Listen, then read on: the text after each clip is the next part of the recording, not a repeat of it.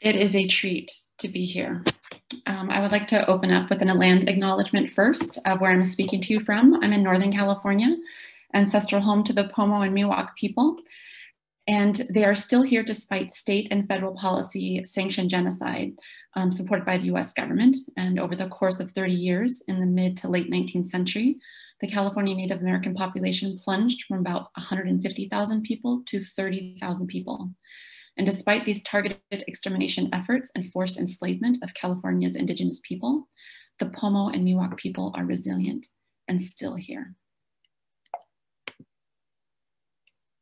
Excuse me. So, Hestquex, um, good morning. I'm in California where it is about 10 in the morning, and thank you for joining me today. I'm going to share with you how storytelling as science can be used to understand maternal infant health. I'm Janelle Palacios. I'm Salish and Kootenai. I grew up all over the Flathead Indian Reservation in northwestern Montana. Uh, my family connections back home include the Claremonts, the Berlins, the Dupuis, and the Swainies. After completing nursing school, I moved to San Francisco and began graduate school, earning my PhD and a master's degree, becoming both a researcher and a midwife. Today, I live in the Bay Area and I work as a midwife te teaching OBGYN residents and as a researcher looking at labor problems in hospital, but also service delivery among rural populations. So this presentation I'm going to share with you is a culmination of 40 years of lived experience, cultural and familial teachings, and academic education. As a witness of traumas experienced by my family um, and friends and community, and also someone with personal experience of trauma, I wanted to understand why. The answers back home were just too close to see. I was living in it it was hard for me to see what was going on. And it took distance from my land and community to see how our collective Native history contributed to our own responses to cope that came in the form of violence, abuse, neglect, other behaviors. This presentation has grown to demonstrate how a story about history is key to understanding maternal child health outcomes among Native people. In this presentation, I cover just a few key historical points and largely keep the brunt of the focus on the lower 48 um, states. But I want you to know that both the indigenous people of Alaska and Hawaii have special histories since colonization, and I invite you to learn more about them. I want to warn you that this presentation can be triggering and intentionally is meant to shine a light where often darkness has covered our truths. I will discuss intergenerational loss, forced boarding school attendance, targeted sterilizations, and how violence, neglect, and abuse were actively carried out upon our people, both in the past and continue today. While this presentation tends to weave, weigh heavily on the adverse side of our history and experience, you must know we have tremendous strength and resilience after a targeted genocide, extermination, and assimilation policies because we are still here today. Today, with their permission, I will weave my family's story into our general Native history and talk about my family's health outcomes in context of our larger history. So before you, you see my great-grandmother, Olive Dupuis, and my great-grandfather, Ernest Claremont. Both grew up in a heavily Catholic community. My grandmother attended the local Indian boarding school run by the Ursuline nuns, and my grandfather attended Haskell Indian boarding school. So here are four key learning objectives. I'm going to talk a little bit about history, weaving that with um, Indigenous knowledge. I'm going to review just some um, his key historical events about um, Native American history and contemporary issues we face. And then I'm going to share how experience the story can situate context and improve our understanding. So these slides are seen everywhere. We talk about health disparities and they were mentioned briefly during yesterday's presentation where Black and Indigenous women die somewhere between two to five times the rate of white women, depending on what you're looking at. Education is not protected for Black women or Indigenous women. And um, as their maternal mortality uh, morbidity increases with age. So as, as Black and Indigenous women age, we die more frequently, we have more worse outcomes than white women do. So Black and Indigenous infants also die at higher rates related to sudden unexpected infant death syndrome. And depending upon your reference year, we switch places between um, the Black and Indigenous infant, infants. They swap places for first place of who dies the most. These two maps uh, illustrate sudden unexpected infant deaths um, rates visually, where the hotspots are noted in darker blue. We see which states have the highest um, rates of sudden unexpected infant deaths. And again, depending on your reference year, the map shifts a little bit in color. So these are the few key theories I'm going to talk about, and it's going to be just very broadly and um, skimming over a lot of details. So this slide explains life course theory. So in general, if we think about someone's life from birth to death, over their lifetime, they encounter assaults or risk factors, and they also encounter protective factors. So for example, white women may experience less assaults over their lifetime, have greater support systems, and therefore have better health outcomes, such as fewer preterm deliveries and a lower risk for dying while pregnant. Black and certainly Indigenous women are at risk of experiencing more assaults over their life course, with fewer protective factors to mitigate the assaults, overall affecting reproductive and perinatal health, resulting in higher rates of preterm deliveries and a high rate of maternal deaths. So if this slide explains how assaults upon one's life from birth to death affect their health outcomes, then weathering explains what exactly those assaults are and how these assaults can affect the body on a molecular level.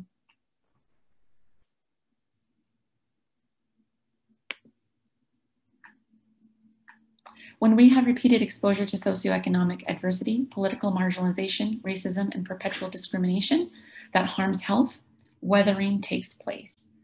Weathering kills in slow, less obvious ways. Weathering has been studied among Black and Latina women, but I believe it has relevance for Native women too. How can weathering and assaults over time be measured? So one way is to look at adverse childhood experiences. Oh, I'm just going to take a pause. I'm making sure that um, the people who are in the waiting room are being admitted. If I see a, a nod of the head, perfect. We also know that the presence of traumatic childhood experiences, such as abuse, neglect, and witnessing experiences like crime, parental conflict, mental illness, and substance use, can result in long-term negative um, health effects and behaviors. So additionally, these traumatic events create dangerous levels of stress that can affect healthy brain development and in turn affect how the body responds to stress. Adults with adverse childhood experiences have an increased risk of smoking, alcoholism, depression, heart disease, suicide attempts, and diabetes, as well as of another, a number of other agents. And as was shared yesterday, it is common to find high ACE scores throughout Indian country. This is just a brief slide to share, show with you how I wanted to incorporate the historical piece. The previous three theoretical frameworks, life course that included weathering and adverse childhood experiences, when they first appeared, they only really thought of the, the person from birth to death. We didn't have anything backgrounding that person when they were born into life, what backgrounded them. And that's really important. That's a key missing portion from a lot of Western thought. These important frameworks left out history. I incorporated historical trauma theory as conceptualized by Dr. Maria Yellow Horse um, Brave Heart with weathering to help explain the state of Native women's health. So as the first few generations of Native peoples experienced traumatic events, responses were passed on to future generations, both on a molecular level, but also through behaviors. Today, we now understand that trauma can leave a chemical mark on a person's gene, which can be passed down to future generations. This mark doesn't necessarily cause a genetic mutation, but it does alter the mechanism by which the gene is expressed. This alteration is not genetic, but epigenetic. My work was trying to understand Native women's health in context of our history, of traumatic events, and also daily living and opportunities available. So I really like this visual from Vanderbilt. It shows social determinants of health as roots and tree leaves as health outcomes. So social determinants of health are the conditions in which people are born into. They grow and live and work and age. And it's really shaped by distribution of money, power, and resources. So differences in these conditions lead to health inequities or the unfair and avoidable differences in health status. And why are these social determinants of health important? Because they're key drivers of health inequities, especially among people of color. If the leaves are the health outcomes as a result of social determinants of health, roots, then I would like to go a step further and say that the soil, backgrounding, and nurturing the roots includes our history and subsequent policies that have shaped social determinants of health. So now for the difficult part of this um, presentation. So this slide shows what healthcare professionals might see when they review cases of death or near misses. And this is what these cases look like when you see the people behind them. These are four women I know very familiar my grandmother, my great aunt, my mother, and myself. I'm standing in for my childhood friend Tashina. Three of these women were teen mothers. Combined, these women survived nine preterm deliveries, two infant deaths, a coerced sterilization, suicidal ideation, alcoholism, abusive violent relationships, multiple near misses and being murdered, poverty, and daily encounters steeped in racism. To receive better care, if you had money, a tank of gas, and reliable transportation, the choice to buy goods and services off reservation was always prioritized. One of these women chose to drive over 120 miles round trip to deliver her first child for fear of what she would encounter at the local hospital. So this presentation will discuss each of these women's experiences of maternal infant morbidity and mortality in terms of their life contexts, not their race, but their inherited histories, their launch in life, and the opportunities open to them in the life they lived. These stories will help frame our understanding of how powerful the background story really is. So I'm going to start with history, a marginalized history, and one that is not often recognized or discussed. These are key historical events I will share with you that give rise to current health conditions. Before contact in 1492, the estimated conservative size of the indigenous population at the time for both northern and southern continent was roughly 60 million people. In Europe, it was roughly 70 to 80 million. By 1600, the indigenous population lost 56 million people, largely due to diseases brought across the Atlantic, such as smallpox, measles, influenza, and the plague. 90% of the indigenous population was lost within 110 years, which roughly equates to 10% of the global population, making it the largest human mortality event by proportion.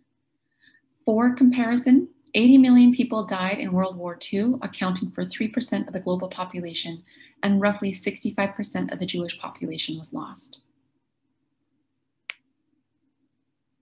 As westward expansion continued and treaty making was happening, the indigenous people were removed from their homelands and pushed farther west, corralled onto smaller and smaller territories.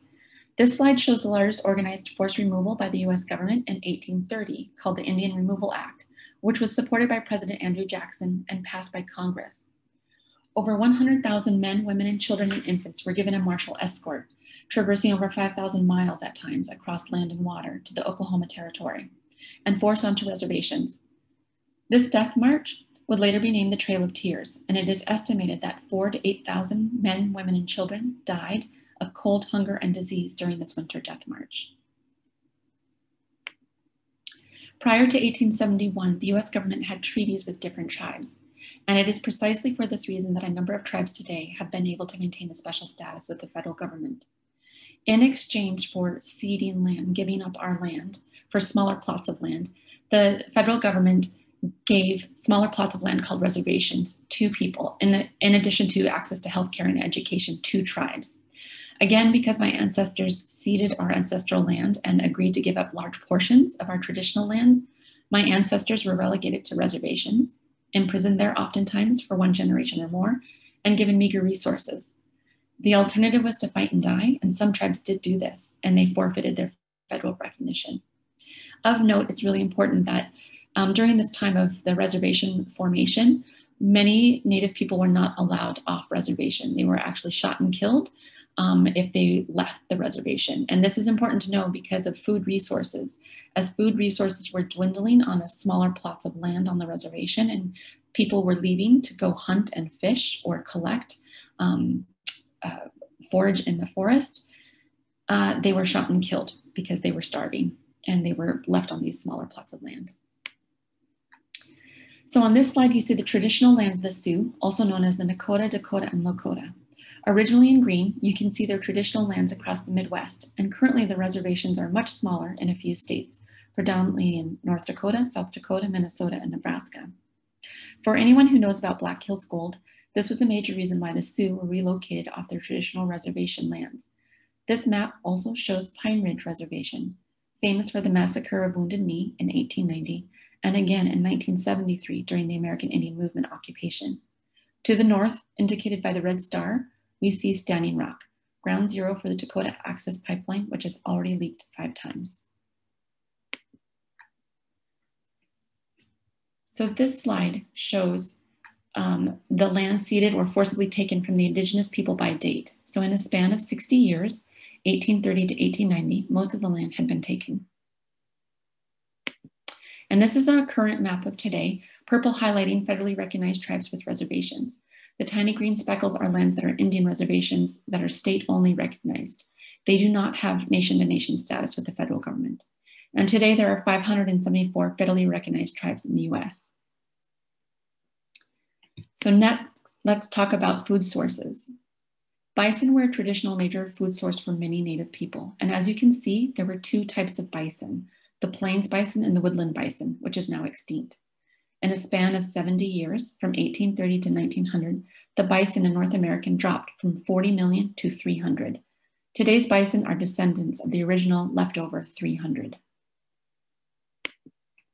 Bison were directly targeted for sport, food, and to sell their hides, but the dramatic shift in bison population is largely attributed to the government policies aimed at eliminating this food source to weaken any uprisings, preventing tribes from unifying and living together in large numbers. The sharp decline in available food source also created widespread starvation, and the government was able to more easily move tribes onto reservations when they controlled food sources.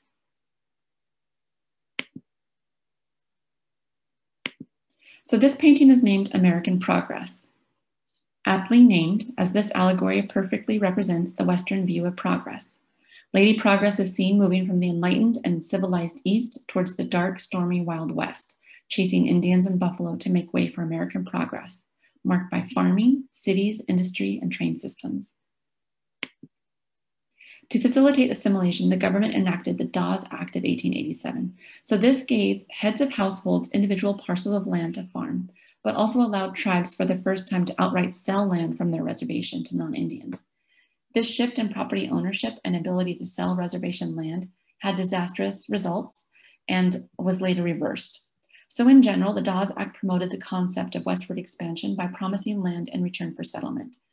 It was an attempt to handle increasing conflicts and to separate Native people from tribal lands while trying to force cultural conformity, accepting a Western model of land ownership. While some tribes historically farmed, many did not, and the concept that an individual could own a piece of land was still foreign. Additionally, the Dawes Act allowed the government to sell and give away land to settlers. This is an actual ad posted in 1911 by the US Department of the Interior, advertising reservation Indian land. And this is in fact how my father's family made their way from Germany through the Dakotas to Montana to buy surplus reservation land. This slide represents the after effect of the Dawes Act. This is a map of my reservation in Montana. Today, the reservation is a patchwork quilt of land actually held by my tribe versus non-tribal settlers. The green is tribally trust-held land as, and is largely forested or prairie land and is managed by the tribal government. Orange color are plots of land held in individual trusts, so tribal members own those land. The light yellow land is called fee land, or land that is no longer held in trust, therefore no longer tribal land, and is land largely held by non-native people. On my reservation, this is and largely this is land largely in towns and around our lake and farming land. This is where I usually ask, you know, what year was religious freedom founded in this country? And some might answer 1620 with the Mayflower. Others might say 1791 with the First Amendment. I learned both answers growing up in school. They were each on my quizzes and tests.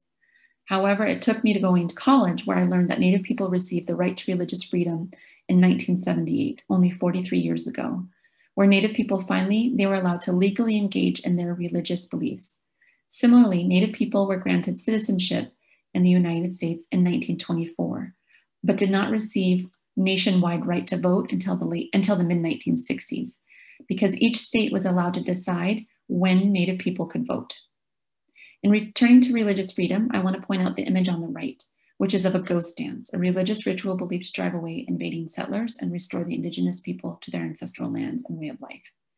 This dance was banned as the government believed it would renew Native militancy and lead to violent rebellions.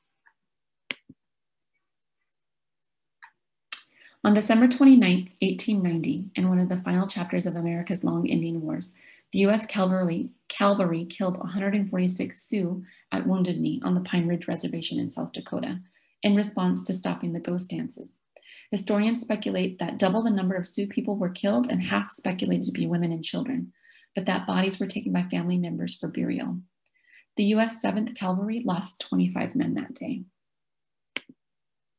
This photo shows the mass grave following the massacre at Wounded Knee.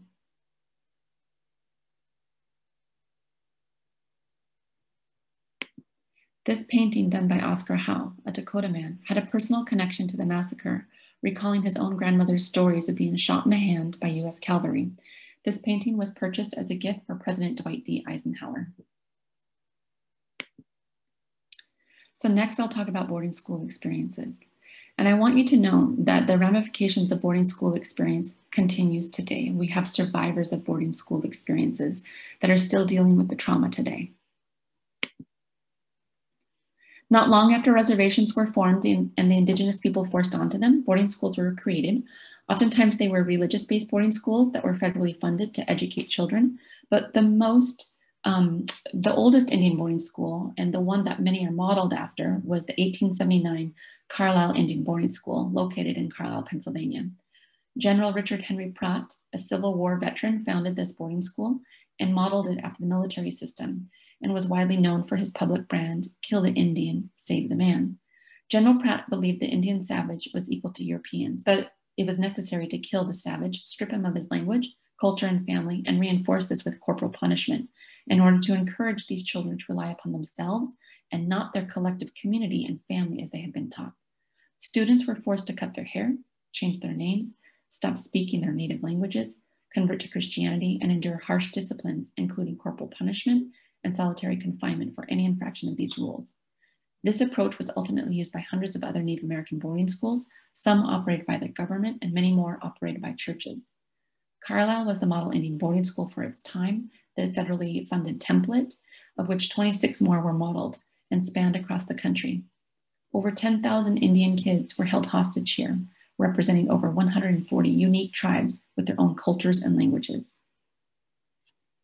It was customary for children to be sent far away to deter them from escaping. The early boarding schools were relocated, were located remotely from um, tribal nations. Children were stolen from their families as young as age four and imprisoned at these institutions until they turned 18 or 19.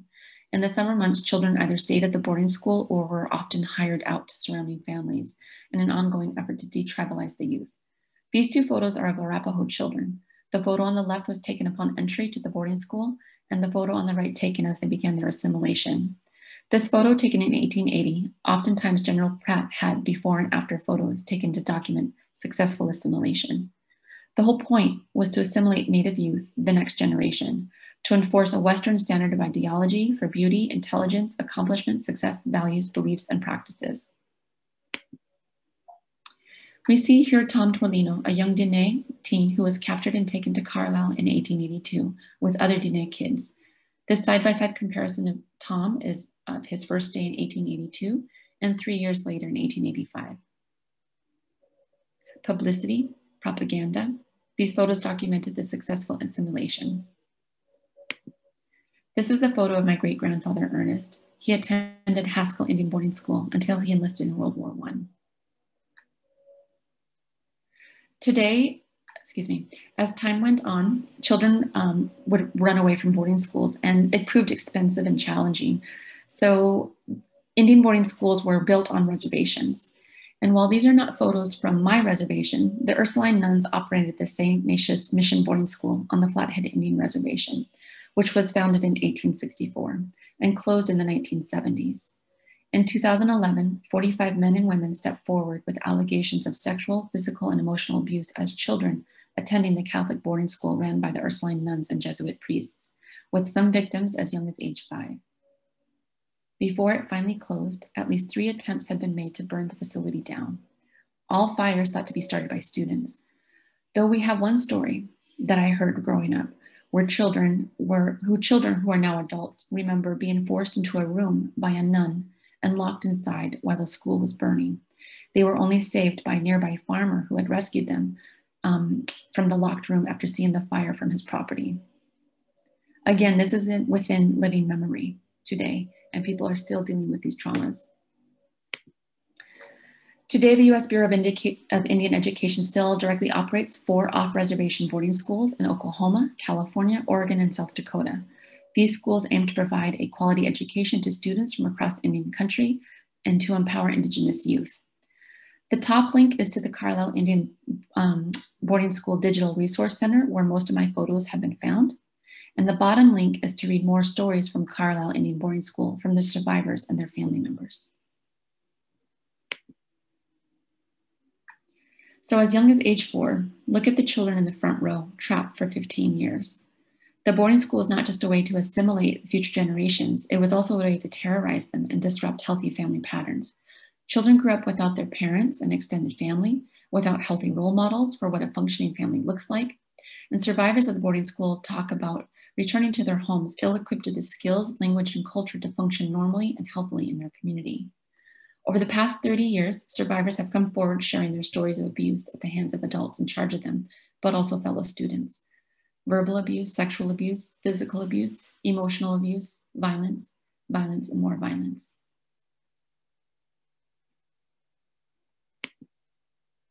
One hundred and eighty-six children graves are at Carlisle Indian Boarding School.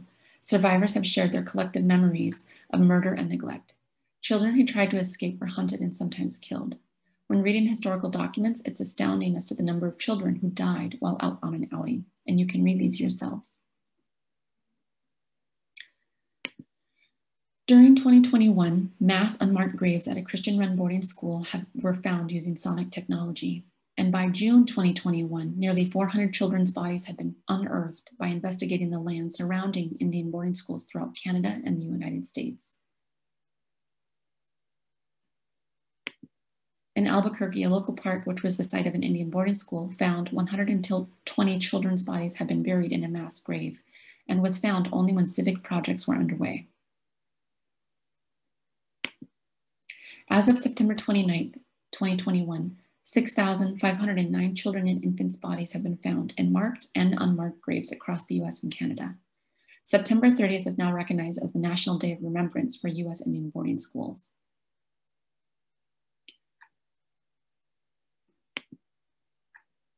This year, on April Fools, Pope Francis issued an apology to the First Nation people of Canada for past abuses children experienced at Indian boarding schools ran by Catholic Church and other Christian sects. However, nearly four years ago to the day, Pope Francis declined meeting with Indigenous representatives in Canada to offer an apology. And while his decision for not responding to Canada's Indigenous peoples and Prime Minister Trudeau's request for an apology um, from the Vatican for the historical atrocities that affected First Nation people. It finally happened a few days ago. Perhaps mass unmarked graves with children and infants' bodies found on church property prompted a response. Some would argue that as Indian boarding schools fell out of favor, placing Native children in adoption increasingly became the route for continued assimilation and cultural destruction. So remember, Indian identity, identity is complex and it's a heatedly debated issue within tribes and on the state and federal level. One area where Indian identity has life-changing implications is when we look at children being adopted. 2015 data across the US found that Native children are overrepresented than any other ethnic identity within the foster care adoption population. For every one white child, there are about three Native children in foster care. And as the boarding school era fell out of favor, it was estimated that between one quarter to one third of Native children were stolen from their families and tribes. One last method to deal with the Indian problem was to assimilate natives through a 1950s policy called the Indian Relocation Act. This time, to assimilate natives, they looked to terminating reservations by encouraging whole families to move to cities. Over 200,000 natives were displaced or relocated into cities like New York, LA, Denver, Minneapolis, Chicago, Seattle, San Francisco. This too proved disastrous, leaving entire families stranded in cities without promised support and lack of support to return to their communities or completely dissolving their tribe. Today, as a direct result of the Indian Relocation Act, we have an urban Indian population. Seven out of 10 American Indian Alaska Native people live in urban areas. Finally, in the 1970s, the federal government enacted a policy allowing tribes self determination, the right to govern and police themselves, the right to decide what type of healthcare provisions their community needed.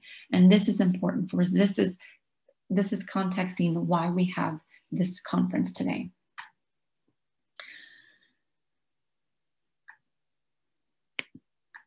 So, roughly 9 million people today identify as American Indian, which is almost 3% of the US population.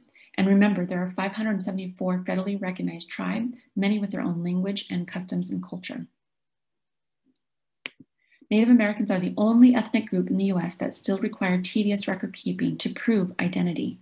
To determine who was eligible for land, the federal government required each tribe to create requirements to determine tribal membership. Keep in mind that many tribes traditionally had dynamic values regarding identity.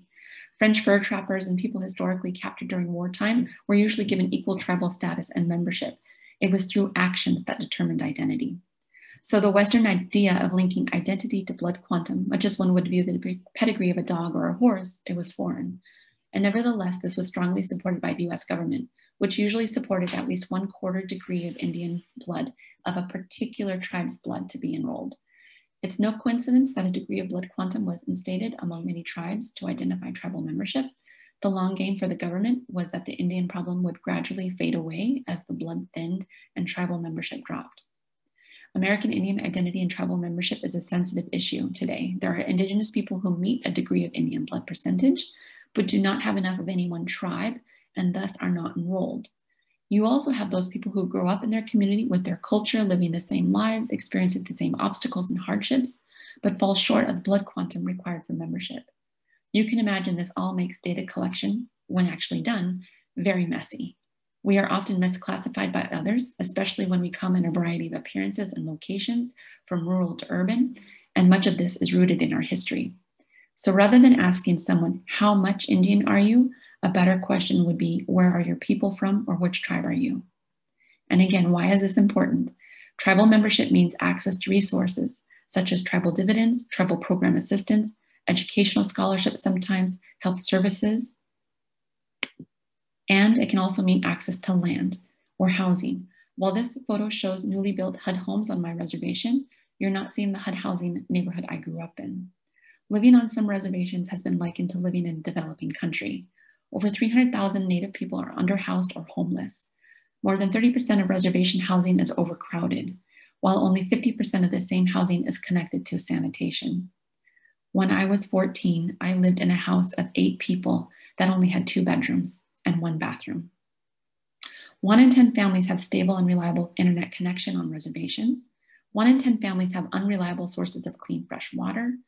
And one in three reservation based families live without plumbing. And on any given day, depending on which tribal community you visit, again, we have regional differences, the rate of poverty ranges from 25% to 64%. And for reference, the poverty rate during the Great Depression nationwide was about 25%. During the worst part of the pandemic, August of 2020, the highest poverty rate was 17.3%. Can you imagine living in a poverty rate of 30 to 60% day to day in the US? It happens. It happens on reservations. Another source resource is access to commods, and this might look familiar. I grew up eating this food as a part of my childhood. My favorite snack was raw spaghetti sticks dipped in peanut butter, and that peanut butter was oily. Another resource for tribally enrolled members is access to healthcare through Indian Health Service. In the 1950s, the Indian Health Service was created. It was split into 12 service areas. Unfortunately, it was at an IHS service site that a mass sterilization campaign was carried out upon Native women. In 1972, a woman entered a Los Angeles clinic requesting a womb transplant. She relayed a story of having her uterus taken out at an IHS facility.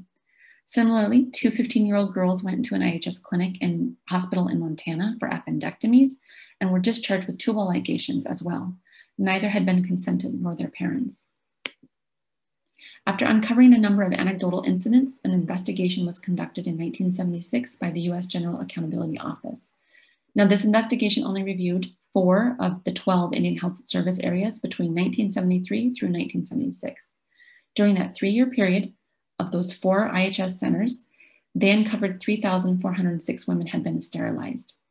And of these, 36 cases involved women under age 21, with the youngest being aged 11. Today, it's not clear why the investigation did not include all 12 sites, nor why it only included a span of three years. Experts hypothesize that at least 25% and as much as 40% of the childbearing population at this time had been sterilized. On the higher estimate, roughly 70,000 women had been sterilized over this period. Comparatively, the rate of sterilization for white women during the same period was about 15%. So, taking a woman's future reproductive capability without consent is an egregious human rights violation. And when targeting a specific population, it's genocide, as defined by the WHO. And while some sterilizations may have been desired, the massive sterilization campaign against this population started in the 1930s, spilling over the 1980s, spanning 50 years at least. Some boarding school survivors have come forward with their own stories of forced sterilization before leaving school. Native American women and girls face a high chance that they will experience violence and or possibly be abducted and or murdered. In 2016 alone, 5,712 Indigenous women and girls were reported missing or murdered. 84% of Indigenous women have experienced violence in their life. 56% have experienced sexual violence. And on some reservations, Indigenous women are murdered 10 times the national average. Murder is the third leading cause of death for Indigenous women. 96% of rapes are perpetrated by non Native men, but non Native offenders are rarely prosecuted on tribal lands. If Native women and children are targeted as an easy population to disappear for nefarious reasons, then incarceration rates would tell the same story. When we turn to incarceration rates, the highest rates are among people of color. And this data may be 10 years old, but remains true today. And when we look at each state's incarceration rate by race and ethnicity, there are several states where Native men, women, and children are incarcerated at higher rates than any other ethnicity, like in Montana. Native people make up 6% of the general population, but compose 22% of the prison and jail population. On a reservation, we have a few layers of law enforcement. We have the local police, the county police, the state police, the tribal police, and the FBI. Today, we live amid a pandemic, and this is Abigail Echo-Hawk, Chief Research Officer of the Seattle Indian Health Board. And during the start of the pandemic, when no PPE could be found, she requested personal protective equipment from local, state, and federal entities. And her clinic was sent one box, which contained cadaver body bags. Abigail made a traditional dress out of the cadaver bags and toe tags.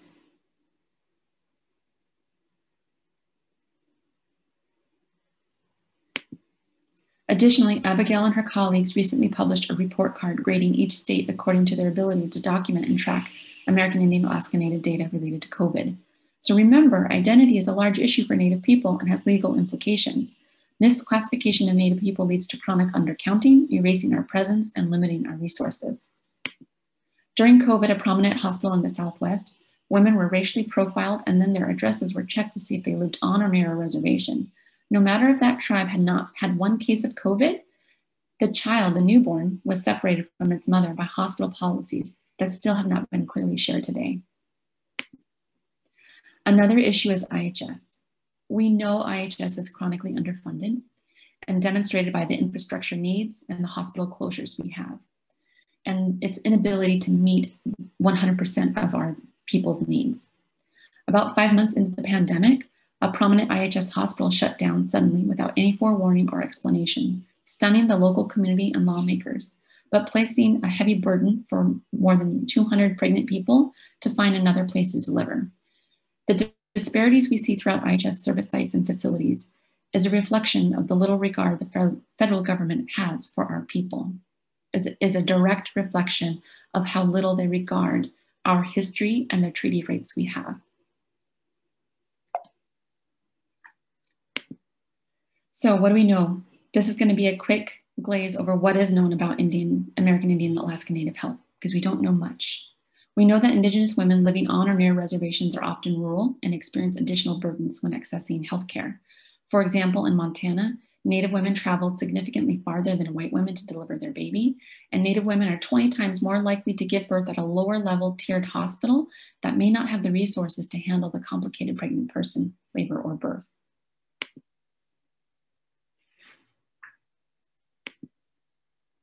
We know that Native women are at risk for preterm birth, and there's a laundry list of factors affecting their risk, but consider the compounding multi-layered risks um, adding to their stress and complications.